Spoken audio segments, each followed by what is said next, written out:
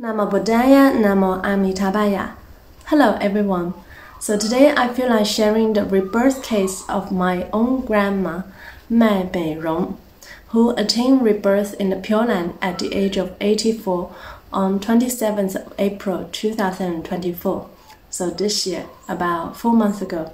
So why I only choose to share it now because I've been super busy for the past few months and now it's the time. So a bit of background about my grandma. My grandma suffered from depression in her life and she did not practice Nianfo much, but she had faith and vow so whenever I went back to China, usually I go back to China once a year. And whenever I went back, I would always tell her to Nianfo, to recite the name of Amitabha Buddha and to attain rebirth in the Pure Land. So whenever I went back and when I talked with her, she always told me how much suffering, how unhappy, unsatisfactory she was. And I told her the only being that could save you is Amitabha Buddha. You need to recite his name and vow to attain rebirth in his pure land in order to transcend all sufferings in life. My grandma had good roots. She believed in me and she also practiced Nianfo with me. However, my grandpa did not allow her to practice Nianfo. So my grandpa is really my grandma's uh, karmic collector. I come to collect her karmic debt. So not only that, he prevented me from uh, talking about Buddhism with her, he also prevented me from uh, practicing Nianfo with her, but I would still do it secretly, just behind his back. When me and my grandma are together, I will always tell her to Nianfo, and we always practice Nianfo together.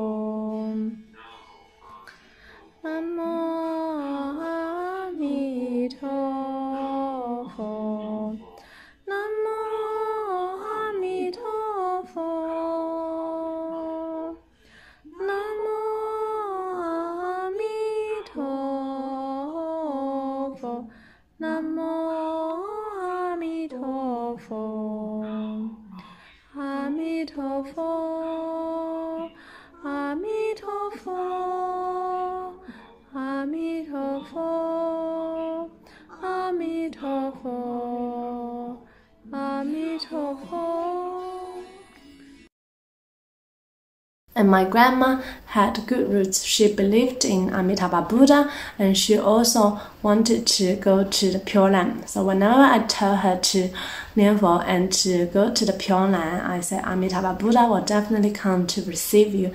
And she was always very happy to hear about that. So she had deep faith and vow towards seeking rebirth in the Pure Land, although she did not have much practice in her life. But it doesn't matter, as long as you have deep faith and vow. So whether you can go to the Pure Land depends on your faith and vow, and your grade of rebirth depends on your own Nianfo practice. So with my grandma's case, it's actually important that uh, there was assisting Nianfo for her because her mind was not very clear. Her practice was not so stable. So it's actually important that there were people who could be there to assist Nianfo for her. So about March this year, I had a dream or like a vision about my grandma that she was really not well and I felt this strong calling that I must go back to China to arrange the best condition for her rebirth. So I also pray for Amitabha Buddha. Uh, please receive my grandma. I pray to Amitabha Buddha that I want to uh, set out the best, the right condition for her rebirth. So luckily, my grandpa did not want to send my grandma to the hospital. My grandpa wanted my grandma to pass peacefully at home, and that was exactly what happened. So a few months before my grandma's pass, she already uh, could not walk by herself. Right? She couldn't do anything by herself. Uh, we hired an auntie to look after her 24 hours. Although she couldn't talk, she couldn't walk, but I felt that she still understood what was going on. She had some level of understanding. So when I went back to China in April this year, I set up the right condition for her rebirth. So I prepared three Nianfo machines. Those machines that will keep saying Ami for in a slow pace. Uh, in case any of them were broken or ran out of battery. Um, so two Nianfo machines uh, that will run on battery and one uh, solo Nianfo machine. So uh, just in case anything might happen, we always have a backup machine that would recite Amitabha and to remind her to be mindful of Amitabha at the time of death. I also put another uh, Sutra Talk machine by Master Renshan on the Infinite Life Sutra uh, where Master Renshan kept saying why it's important to go to the Pure Land, how wonderful the Pure Land is. So, really, to increase her faith and to deepen her vow towards attaining rebirth in the Pure Land. And whenever I was accompanying my grandma, I would always tell her to remember Amitabha. I only Amitabha can save you. So this kind of guidance is actually important for beings at the time of death, uh, particularly if they don't have strong practice that their mind could be easily disturbed. It's important to give them this kind of guidance, so to have them to give rise to the right mindfulness of Amitabha at the time of exit. 奶奶，奶奶。 你一定要念阿弥陀佛，现在只有阿弥陀佛可以救你。你要知道，这世间一切都是假的，只有阿弥陀佛可以救你去极乐世界。你要心里念阿弥陀佛啊，你的口念不出来啊，但我知道你听到我在跟你说什么，你心里念啊，念阿弥陀佛，阿弥陀佛，这样念，然后到时候阿弥陀佛一定会来接引你。去极乐世界啊！阿弥陀佛，大慈悲父的愿力真实不虚，你要相信啊！而且你愿意去极乐世界啊，因为这里很苦，对吧？生老病死都是苦啊！但因为你想去极乐世界，你愿意相信阿弥陀佛，你念阿弥陀佛，阿弥陀佛就一定会来接你去极乐世界。好多人都去了极乐世界，奶奶你也一定要去极乐世界，好吗？ami. So when I went back to China in April, I was there for one week before I went on to lead our pilgrimage. So the reason why I wanted to put a pilgrimage on that time is also because of my grandma. I wanted to go back to see my grandma to make sure that she could attain rebirth in the Pure Land. And I also arranged uh, with my Pure Land Dharma friends in China in my city, uh, Beihai, southern China, I told them that my grandma may not have much time left. If I were not there, you guys please go to support Nianfo for her. So they all agreed. So I didn't know when exactly my grandma would pass, but I just felt that she really did not have much time. So I left for the pilgrimage on the 25th of April, and two days after that, on the 27th, about 12:27 p.m. I received a call from the auntie who looked after my grandma, and she told me that my grandma had stopped breathing. So it was uh, too late for me to go back to my city. It would take another one or two days, and I wasn't so panicked when I heard that message because it was anticipated. So I quickly called the Pure Land Lotus friends in my city and told them to go and support Nianfo for my grandma. So four of them went. And they stayed there for almost one day. So I was really, really grateful for them. They really did their best to give my grandma the right guidance and to support Nianfo for her. So my grandma could attain rebirth in the Pure Land successfully. So how do I know my grandma attained rebirth in the Pure Land? So I was also assisting Nianfo I remotely. At that time, I was at a hotel with some other Lotus friends on our way to Donglin Temple. So I also had my mobile phone uh, with the auntie, so I could see my grandma and I was also uh, giving guidance and assisting Nianfo uh, for my grandma. So I felt 12 hours after assisting Nianfo, uh, my heart, I felt really, really like happy, like blissful. It's like I could almost see a vision that my grandma is sitting on a golden lotus, that she had attained rebirth in the Pure Land. And I could also see that her face became even better 12 hours after her death or rebirth.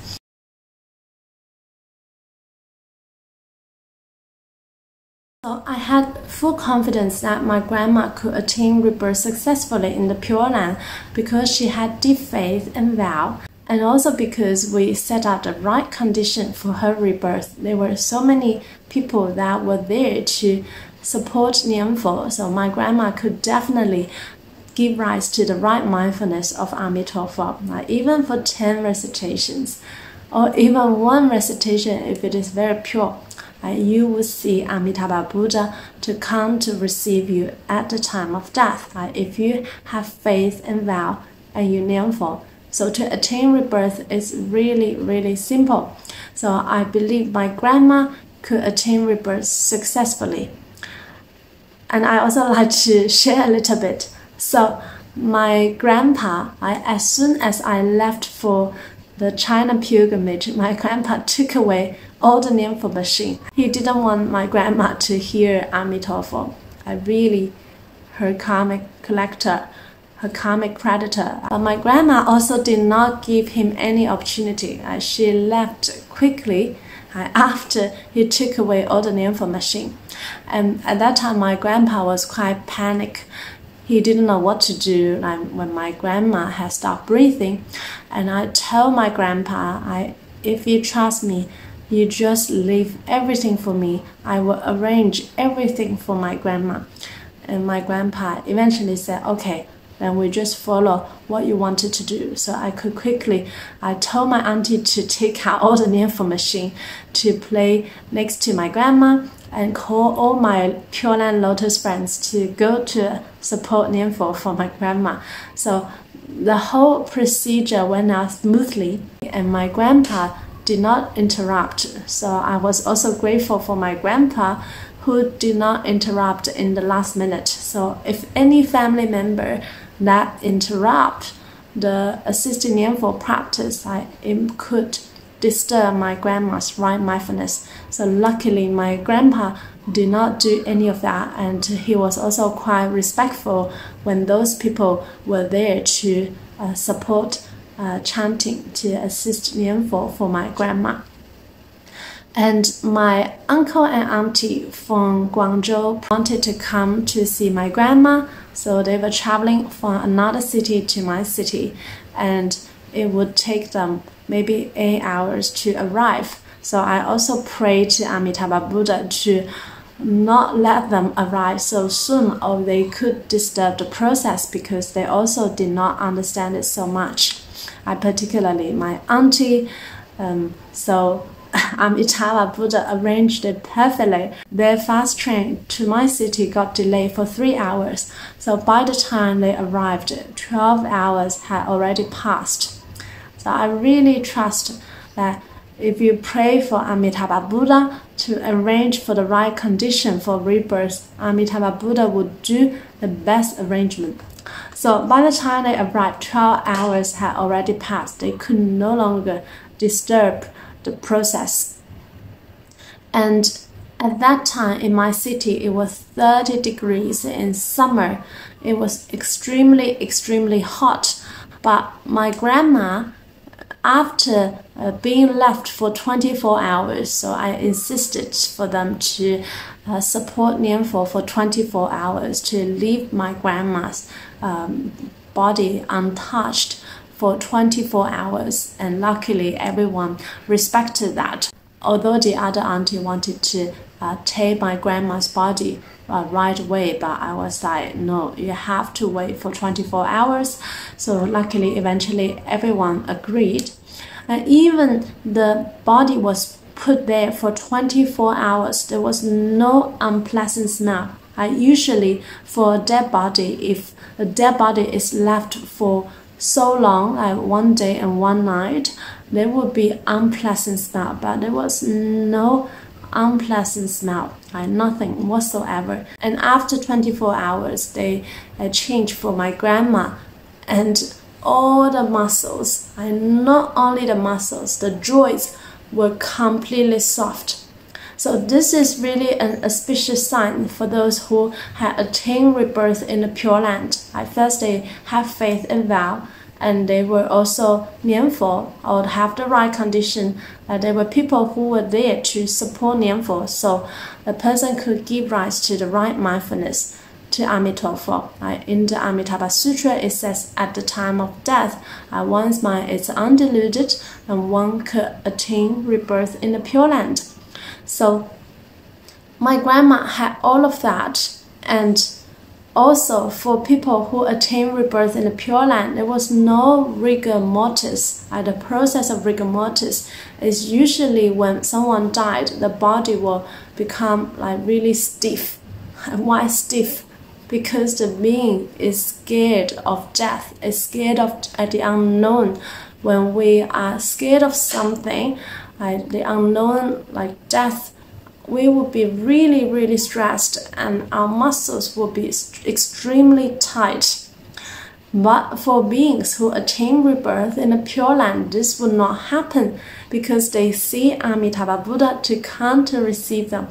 They went to the Pure Land with joy, with bliss, and completely relaxed. So that was what happened to my grandma not only her muscles were completely relaxed and soft, the joints, all the joints were soft. And this is really definitely an auspicious sign for those who attain rebirth in the Pure Land. Not only the muscles were soft, also all the joints, I absolutely everywhere, all the joints were soft.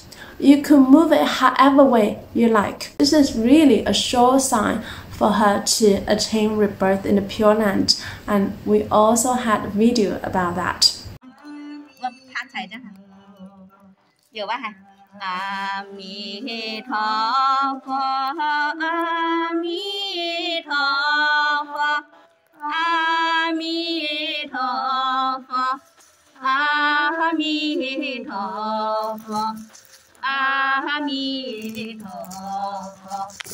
À. Cái thổ luận này dân thổ liên phá chẳng say vấn đề là say cả hy sinh phải chú phải hy sinh sáng say say mới chơi ông nằm hộp dạng phú và lượng sò màu lượng công phố quay 以佛身回來話行，阿彌陀佛，阿彌陀佛，好佛，阿彌陀佛，阿彌陀佛，阿彌陀佛，阿彌陀佛，感恩你表法表得真真如陀佛，阿彌陀佛。阿弥陀佛阿弥陀佛阿弥陀佛阿弥陀佛阿弥陀佛阿弥陀佛阿弥陀佛阿弥陀佛阿弥陀佛，阿弥陀佛，阿弥陀佛，阿弥陀佛，阿弥陀佛，阿弥陀佛，阿弥陀佛。阿弥陀佛，阿弥陀佛，阿弥陀佛，阿弥陀佛，阿弥陀佛，阿弥陀佛，阿弥陀佛。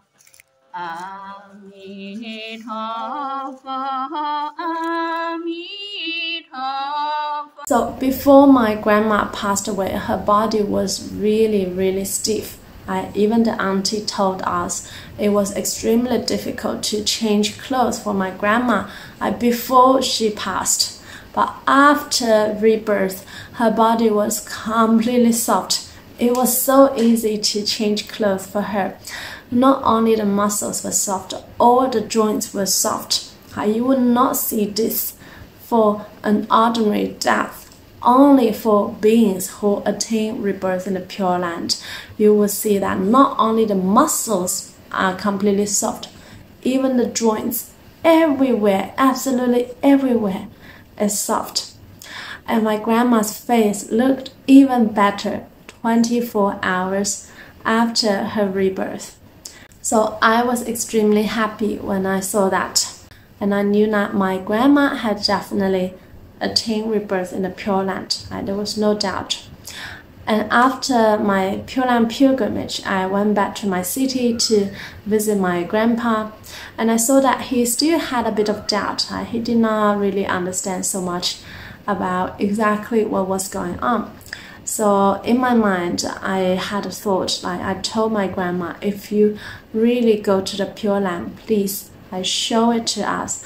Uh, you need to also let my grandpa to know this is definitely real. So if she had attained rebirth in the Pure Land, she would know all the beings' thoughts in the ten directions, according to Amitabha Buddha's 48 great vows.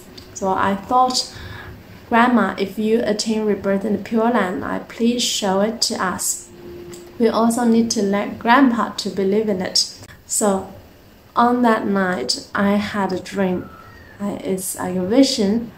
First, I saw the three golden birds from the Pure Land. there are wonderful birds from the Pure Land, from this golden world. First, three golden birds that flew to me, and then there's this beautiful, beautiful bodhisattva uh, in the body of gold, in beautiful garments, and sitting on a big golden lotus. And I knew that was my grandma. And my grandma, now a big bodhisattva from the Pure Land, I came to me and I was chatting with my grandma. I was like, wow, grandma, you are so beautiful. You are a great bodhisattva now. And my grandma was smiling and I said, but you need to let my grandpa to believe in it, to believe in the Pure Land, so he could also go to the Pure Land. And my grandma said, yes, I will. And then this scenery disappeared quickly, and I woke up from this dream. I knew it wasn't just an ordinary dream. It was really my grandma heard my message, and she came to visit me from the Pure Land. So this we also see in many cases from people who attain rebirth in the Pure Land. They uh, could come back to manifest in your dream. And the next day, my grandpa also told me he wished that he could die like my grandma with no pain, no suffering. My grandma really left with no pain and no suffering. And I tell my grandpa, well, you need to Nianfo so you can attain rebirth in Amitabha Buddha's Pure Land.